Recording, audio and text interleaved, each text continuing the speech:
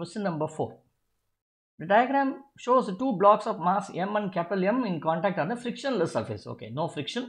A force F is applied on the block of mass m and causes the blocks to move with an acceleration a. So you apply a force F here, okay, and this starts moving with an acceleration a. Okay, what about this? This will also continue to move with the same acceleration a here. Okay, and then what is the force that the block of mass m is exerting on the block of mass m? Okay, what force does this m confer on this one? This is the question over here. So how do we do this? See what will happen now. So what is the force acting on this one? Let us find out what is the force acting on this. If m is the mass of the object, a is the acceleration, m into a is nothing but the force which is acting on this one. Let me call f1. Okay, definitely some amount of mass is here, some is capital M is here.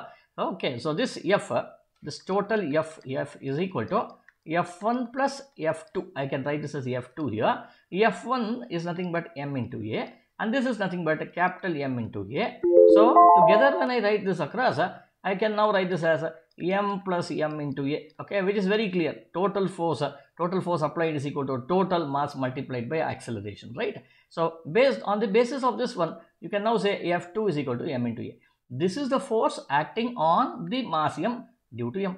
So, what will happen now? Okay, you are asking what is this force? What will that be force be? This will be the opposite force. See, according to Newton's third law, what does what do you say? Whatever force acts on me, I can give you the same force back to you, which means that uh, you can see m to m into a acts on this one. So I am also giving back the same amount of force to the mass m here. So therefore, m into a is the right answer. Capital M into a is the right answer. Which is the right answer here? Answer B.